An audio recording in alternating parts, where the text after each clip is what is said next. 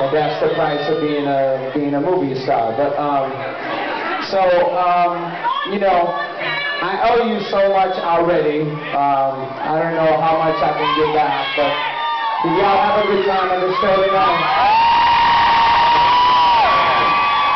Thank you. Um, and uh, thank you.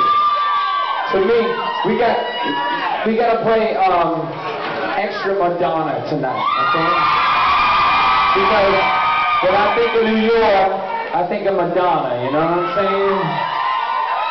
I think of like 2000, 2001 when you know I was you know going to clubs every night, getting down. You know what I'm saying?